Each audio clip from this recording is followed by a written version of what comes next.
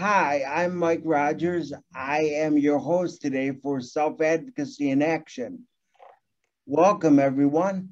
Well, today we're going to talk about a very hot button and current issue, which is staffing in New York State for people with developmental disabilities. We're going to start out by talking with people that live independently. We have people that live independently and people that live in group home settings. So we're going to start out with our first question, and that is what is your staffing situation right now in terms of coverage? And we're going to start out with Kim Henshin. Well, I have covered,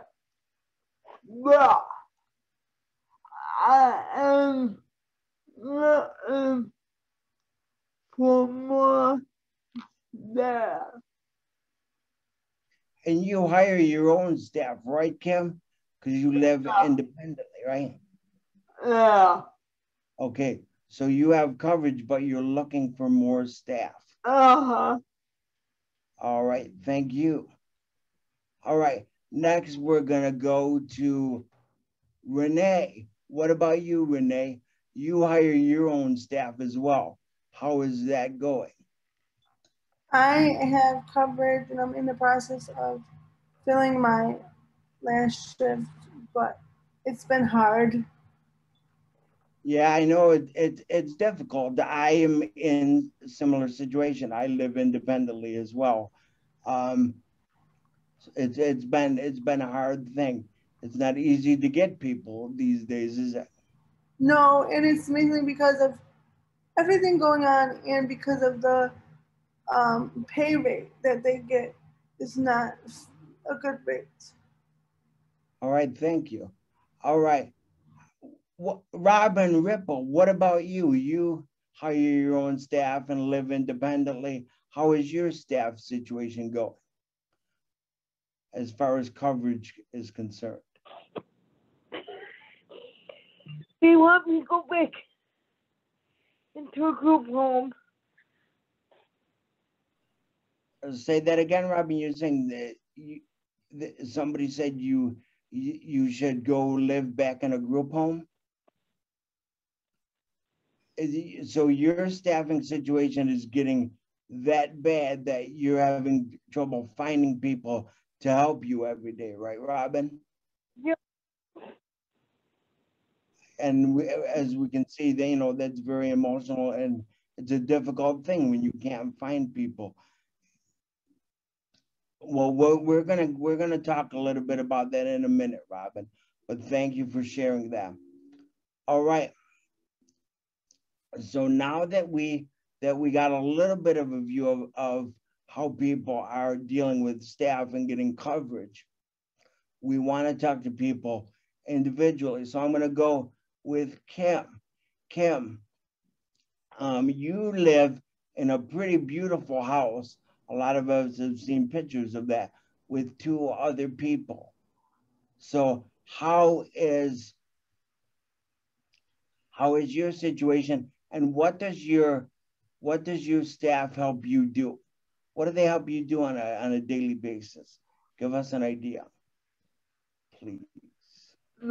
Help that are ah. um and how we yeah yeah and I believe at heaven. Uh, uh, okay, now I, I heard you say they help you get up they help you with eating. And what was the last thing? That. Um, okay, say that one more time for me. That. Dressing. Okay. All right. Yeah. Okay. So you're telling us that they help you do everyday living skills. Yeah. Without them, without them, you wouldn't be able to. You be able to do those things. Right. Yeah. Okay, thank you very much. All right. And next we're gonna go to we're gonna go to Robin. Now, Robin, you've been living on your own for 13 years, right?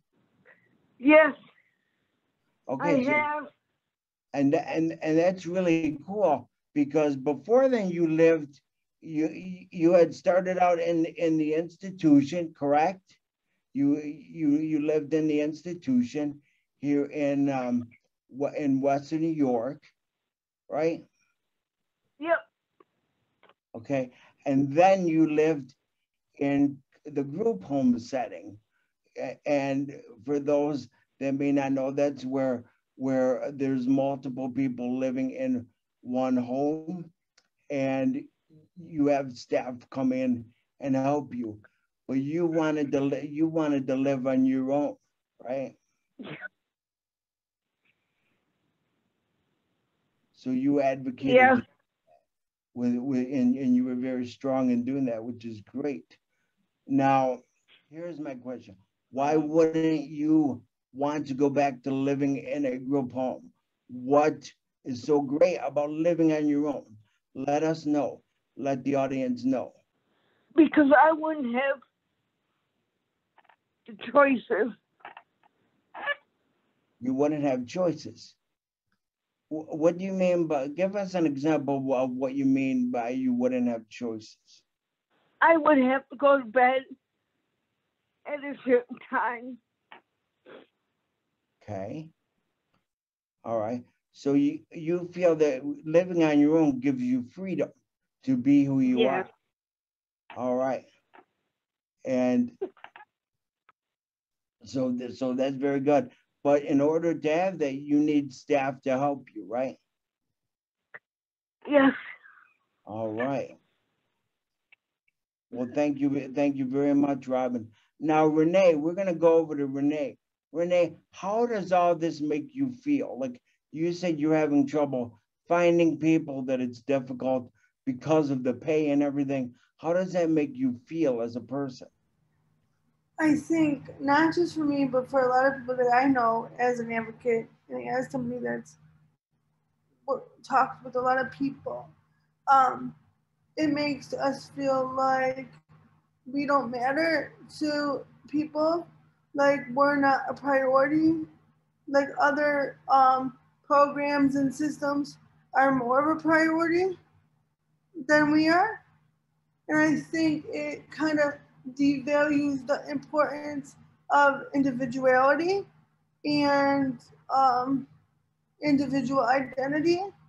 Um, when you um, approach it as a, a system instead of a personalized um, need of people.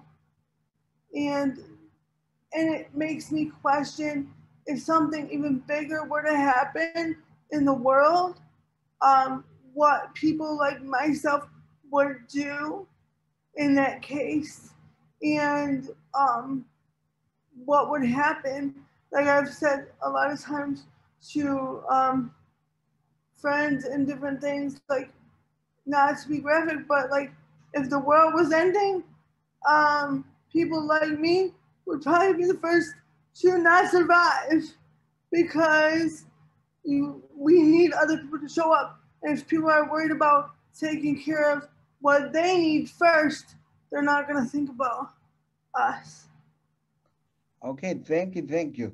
All right, so we are gonna we are gonna move on now to Kenny. Kenny um, lives in a certified site in a group home where people come in and help the staff. So it's a staffed group home. So I've been talking with, I believe, Sophia all week, and this is why I'm here.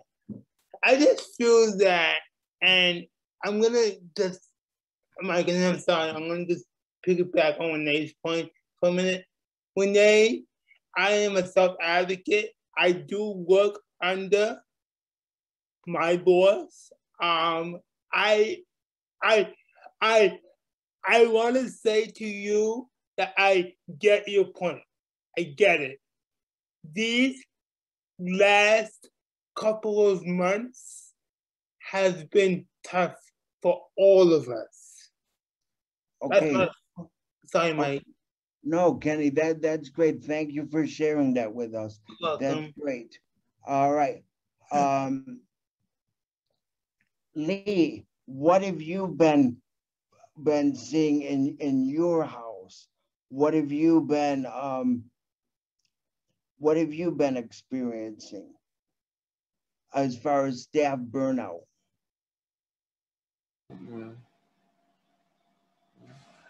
As for staff burnout, staff seem to be running on empty, meaning they are more moody. Or they're more moody? So they're getting affected emotionally and is that affecting their work? Yes, Okay, thank you very much. Now, I want to move on to Jeff Patterson. What can we do about this, Jeff? What, how can we deal with this situation? What steps can we take? Well, it's a great, great question, Mike. Um, you know, obviously, What as you, caused this situation in the first place? yeah. Um, you know, this situation was caused by a lot of really bad decisions by New York State government. Um, and, you know, so, so a, a couple of them, they have cut billions of dollars out of the service system over the past several years. They have refused to provide cost of living increases to the field for the past 12 years. This is the first year that there will be one at 1%. We went 10 years with no cost of living increases when other sectors got them. So, as some of you have noted, you feel like you're less important to the state. Well, the state has said that by funding other sectors and not funding this one, not giving increases. Um, and, and in addition to that, uh, you know, they raised the minimum wage for fast food workers and made those jobs more appealing. Um, you know, and, and nothing against fast food workers. They work hard, they, they deserve to make a good living. But those jobs are not harder than being a direct support professional. Uh, and they don't have anywhere near the, the level of stress or demand on them. So, at time after time over the past 12 years, New York State has chosen to make this issue worse. And when we're telling them what they can do to make it better, they don't listen. What can you do? You gotta you gotta make noise, and the way to do that is to call the governor's office, um, write letters to the governor, write emails to the governor, go on his website, go on Twitter and tweet at him, because he does not understand what's at stake here. My heart is breaking listening to Robin say that you know she might have to change her living situation. You know the reality is there there's a problem in the group homes too. I mean there are not enough staff to support the people who are living in group homes. So let alone people who are living in the community living independently there are agencies closing group homes because they can't hire staff. So this is a problem throughout the field and the governor doesn't understand it um, or he ignores it it's one or the other he either doesn't get it or he doesn't care. And it's time for him and other state officials to show that they get it and to show that they care. There is another cut scheduled to go into effect on providers this month. They need to cancel it. They've gotten billions of dollars from the federal government. They do not need to cut more funds out of this field. They have cut enough. Stop the cuts, number one. Number two, they have received over $700 million. The state has received over $700 million from the federal government because of COVID to support this system. Take some of that money and use it to raise the pay for DSPs because they need it. It is the only way we will be able to hire enough people to provide what we need to in this field. So, number two, raise the wage. And number three, go back to giving those cost of living increases every year. We cannot go 12 years with no funding increases while they're taking 2.6 billion out of the system. So number 3, fund the future. They need to do those three things and maybe we'll have a shot at fixing this. Okay, thank you, Jeff, for that passionate, that passionate response. Um, BJ, you are a, a well-known advocate and systems advocate. What do we need to do? What do, do advocates need to do? What do supporters need to do from your perspective? Well, I'm going to be completely honest and blunt now. Jeff is right. The governor doesn't care about any of us unless he knew we weren't going to vote for him or those elected officials who we might vote for. We need to tell them we do matter because we are a voting bloc that counts. And even if we didn't vote for them, we still need to talk to them because they all work for us. And as far as finding staff, I found myself on the street while shopping saying, oh, that person might be good for a job. So I'll just go up to people and ask, you want a job? Which I've never done before. So it's very unusual for me to do that. But I have shifts I need to fill. But please remember, people, we're all in this together. The providers, the families, all of us, we're all struggling with this together. We need to tell our elected officials enough is enough because I'm tired, you're tired, and I want to see the best for everybody. So speak up, speak out, make it loud, and do it proud. All right, BJ, I couldn't say it better myself. Well, thank you everybody for coming on and sharing with us, sharing your passionate pleas and your perspectives. And thank everybody for joining on us on self-advocacy in action today. And please help because we need it. Thank you.